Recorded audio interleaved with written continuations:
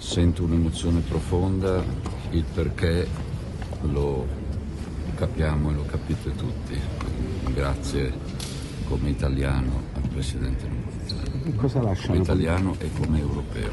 A mio giudizio lascia un modo e uno stile di eh, adempiere a eh, altissime funzioni pubbliche molto rigoroso che è il contrario dell'inseguimento del consenso, il contrario della demagogia, ma è il fare delle cose per il bene del paese senza inseguire la volontà.